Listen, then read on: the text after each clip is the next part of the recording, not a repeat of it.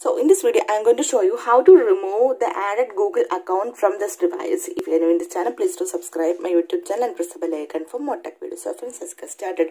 This is very simple to remove this Google account from your device. For this, go to settings and scroll down. At the bottom side, you can see the option users and accounts just tap on it so here you can see uh, in this page if you have whatsapp uh, gmail and the facebook. All these you can see here but in this device you can see only one uh, account google account.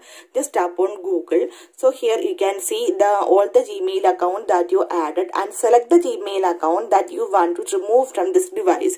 So here i'm going to select this one. So on the top right side you can see two dots. Tap on it and tap on remove account. Then tap on again confirm this remove account now you can see only one Gmail account is here. So simply in this way you can remove the added Google account from this device. So hope you guys enjoy this video. If you like this one please like and share and don't forget to subscribe this channel for more updates. Thank you for watching. Thank you. Bye bye.